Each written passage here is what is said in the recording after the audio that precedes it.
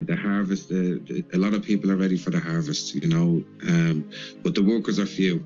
That's that, you know, that's where we're struggling. But we, we just we have to keep persevering. We're in a time for perseverance, and that's what you know. I'm praying for that every day to to help us get over the line and to to to bring in the reign of Mary.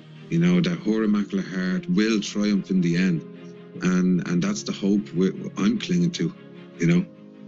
Absolutely, it's, it's a hope we all must cling to, right? Because again, as we see the world crumble around us, we shouldn't we shouldn't go and hide ourselves and, and weep and, and cry and, and, and be depressed. We should say, okay, yeah, now now is the time when it might get tough. And, and Christians and Catholics, we, we are persecuted. Christ, you know, himself said, "You will be persecuted in my name." And and I think if if if we see that we're not persecuted, we may then rather think, "Hey, maybe this is more wrong than actually being persecuted," because we know yeah.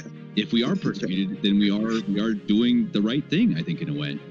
Yeah, like um, I'm under severe persecution over here. There's a there's a few of us. We've been um, singled out. We're being targeted, you know, and the people that are caring about us, they're like, you know, you got to be careful, you know. And the only thing that I can come into my head when I'm talking to them was like, the apostles went out and died for the truth, you know. Right. And and they did it with joy. Right. They did. They didn't worry about what was going to happen. They were just worried about pleasing, pleasing God.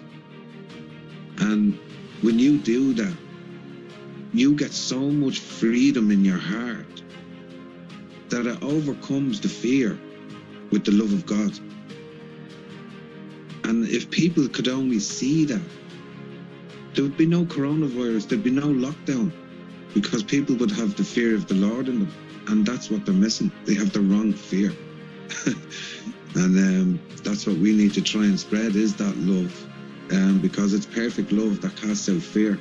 And the devil is so cunning right now. He's using this lockdown to bring people into despair.